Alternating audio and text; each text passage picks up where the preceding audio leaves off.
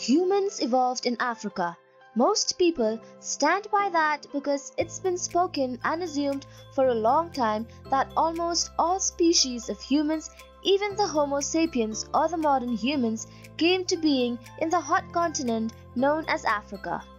These species inhabited this continent from north to south and east to west before they migrated out and started wandering other places on this planet and leaving their fossils behind.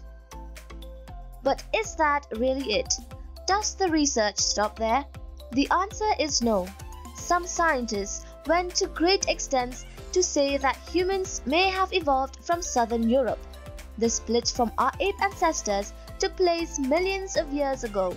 With that common knowledge, some researchers say that it did not happen in Africa, but in fact it took place in southern Europe. What made them think this is because an international team of paleoanthropologists analyzed the 7.2 million year old remains of the hominin holding the name Graecopithecus freybergi found by von Freyberg and came to the conclusion that they belong to pre-humans. The fossils of this species were uncovered from Athens, Greece and Azmaka, Bulgaria. These researchers analyzed the mandibles of this species and saw that the molars resembled that of not only the modern humans but also the early humans and several pre-humans including Ardipithecus and Australopithecus. The feature that led them to this conclusion was the fused and converging roots of the molars instead of the separate and diverging ones found mostly in great apes.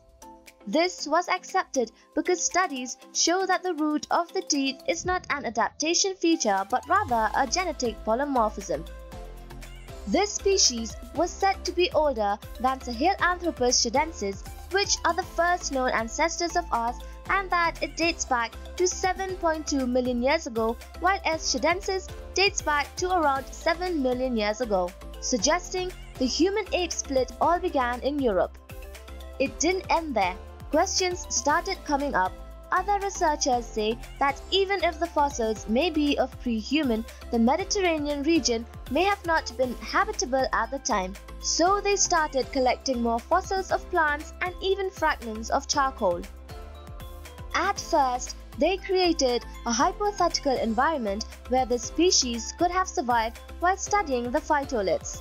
And the study provided evidence of severe droughts and the charcoal analysis indicates recurring vegetation fires reconstructing somewhat of a savanna where not only the species could live in but also many animals such as giraffes, gazelles, antelopes and the rhinoceros. They called this hypothesis the North Side Story. This information made the puzzle of human evolution even more complicated, with some assumptions that even if the split occurred in Europe, the early ancestors might have moved back to Africa. It is impossible to draw a clean line of lineage. Looking back in time to glean our origins millions of years ago was never going to be an easy task.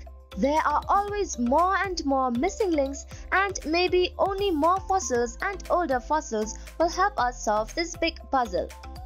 So thanks for watching guys. Do tell us what you think of this hypothesis in the comment section down below. For more videos on human species and their origin and timeline, do check our channel as we have made many videos on them.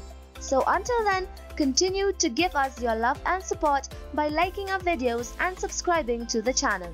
See you soon in our next video.